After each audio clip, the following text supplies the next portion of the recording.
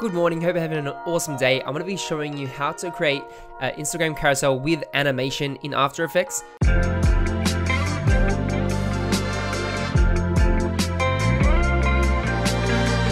So first up, I'm just to show you an example of what I did. So you can see on one of my last slides on my Instagram, you'll see that I have this. So if I press spacebar and play it from the start, you can see I have this cool animation. You got the photo coming in, you got the text animated and the icons really smooth, really interesting, makes it more engaging with your audience, and yeah, it, it just makes it a lot nicer and cooler. So I also have another example of what I did as well. Did this cool fire uh, effects, fireworks effect, which is pretty cool. So I learned how to do that yesterday. Um, had fun doing that, but I'm not going to show you how to do that. It's a bit more complicated. So we'll just stick with this. So first up, what want to do is you want to go to File and you want to go to New.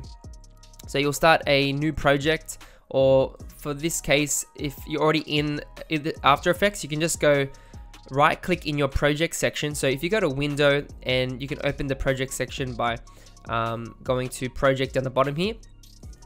Just gonna double click there. So you can see on the left hand side, I got all these, all my files here.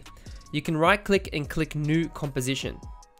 So in After Effects, you've got compositions, which pretty much means like a, uh, your document or your workspace that you're gonna be like you know editing and stuff like that. Similar to premiere a little bit but premiere doesn't have comps. Um you know they got they call them you know bins and, and other things and sequences.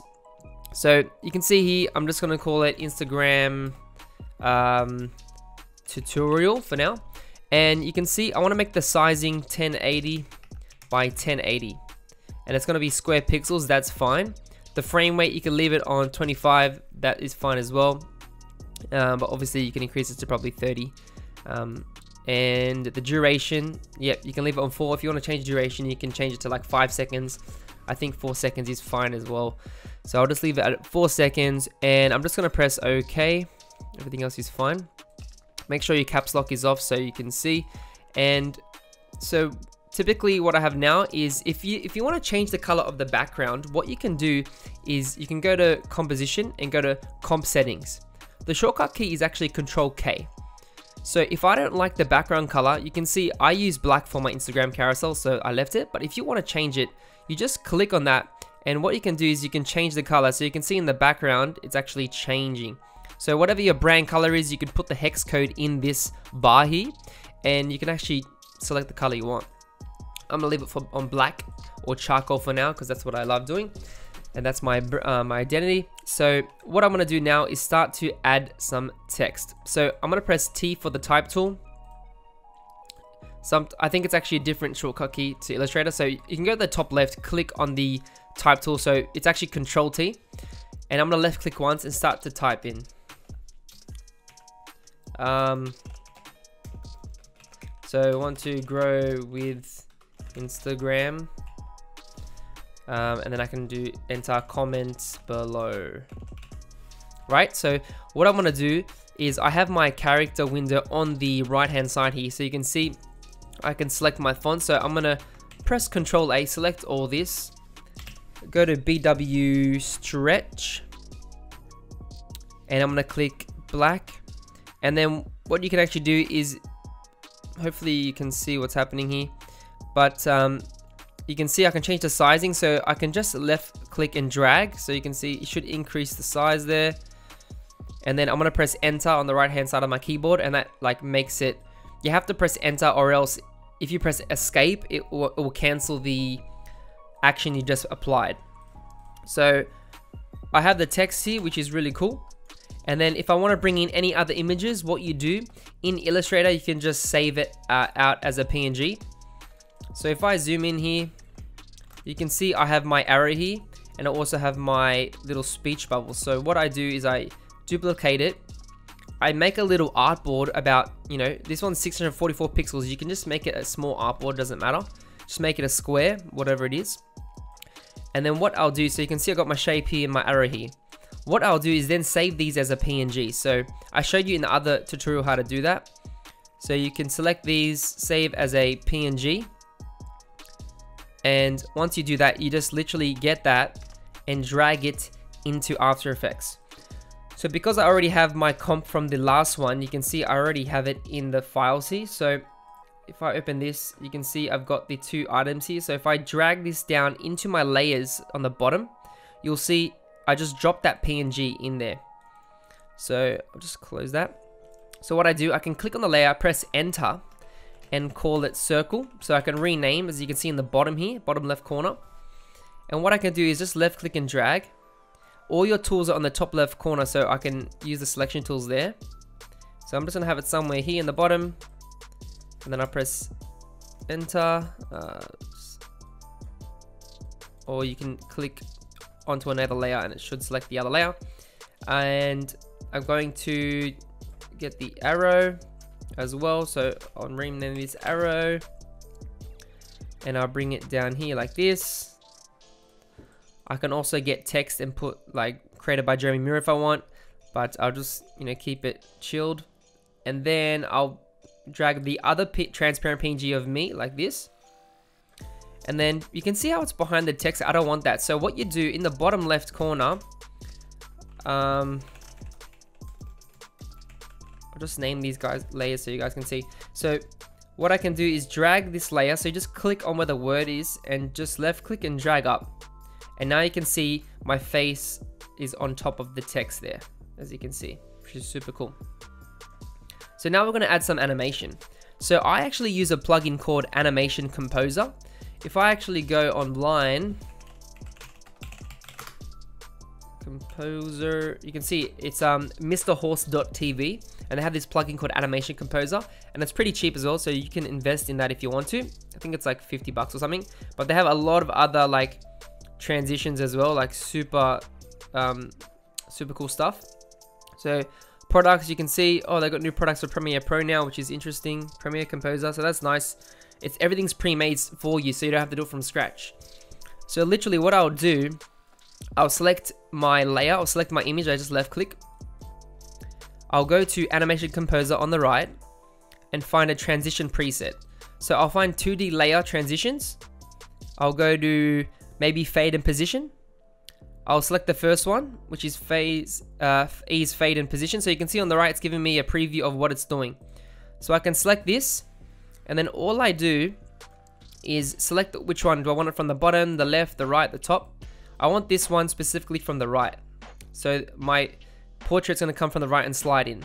So I drag this and on the right hand side you can see I'm clicking and dragging it into this first section which says apply as in. So I let go and now you can see on my layer on the bottom it says TR it means it's added that effect that I selected into the in part of the of these two things. So if I select it, you can see it's sliding in now automatically, which is really cool. And also I can go into the layers and like edit the effects if I want.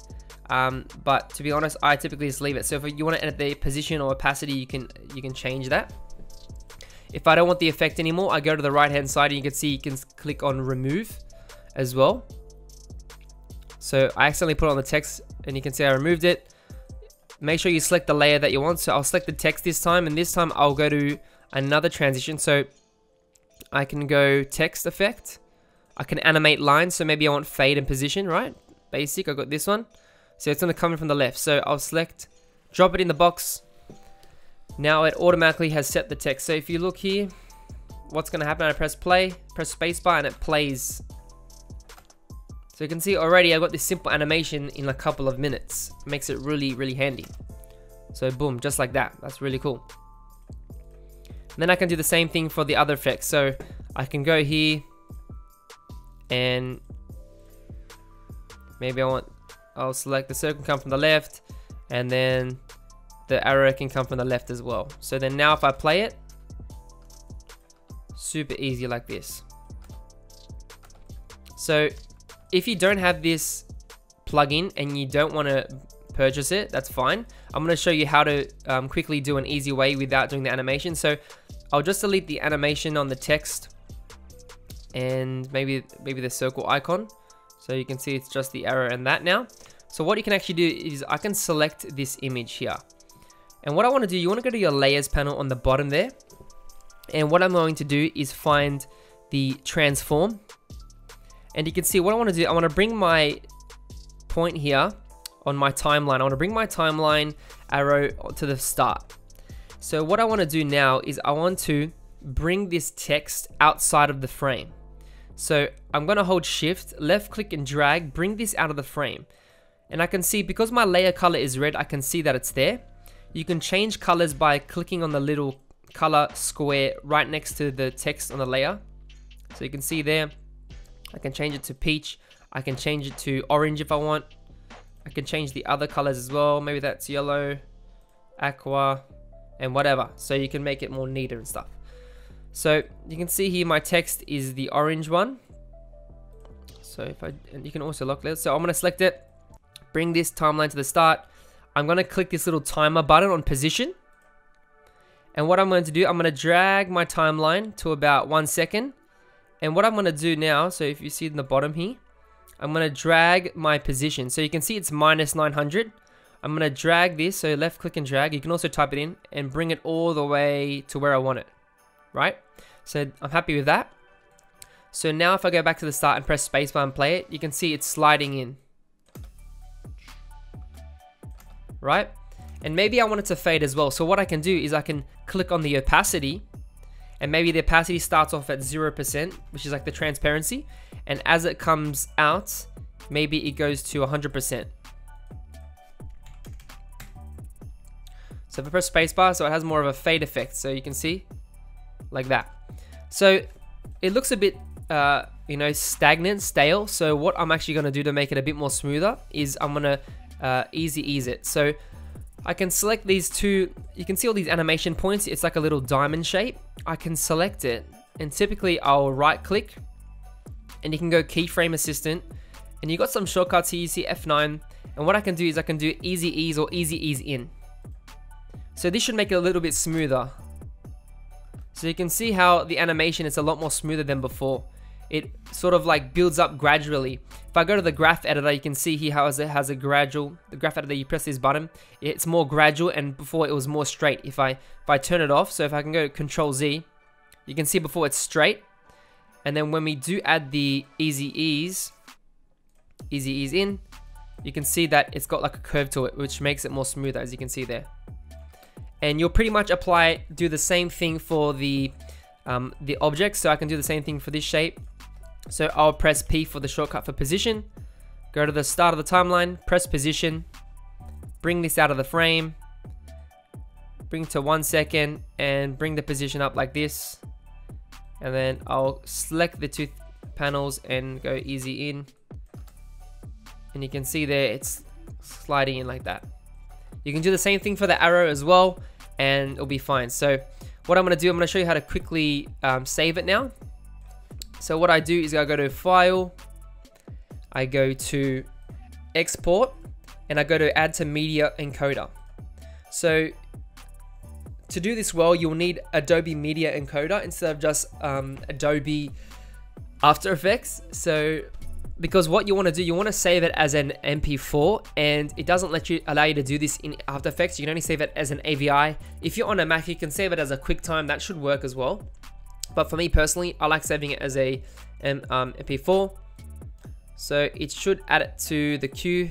So you can see it's added it. So what I typically do, I click on this text here and it allows me to select it. So I do 1080p and because maybe I want to upload this video to YouTube or some other place, I typically do 1080p and I do um, 15 megabytes, which um, megabits, and the you can see the width the because the composition is already at the size you want 1080p you can see that it the width and the height is that which is super cool. So that's really cool. Uh, compress ok and the preset is fine. And all you have to do is just locate it so I can save it to the desktop for now um, and I press OK, save, and then I press play, and it should export it. It shouldn't take long because it's only a couple seconds long. And then what I'll do, I'll go to my desktop, double click it, boom, there we have it, our animation.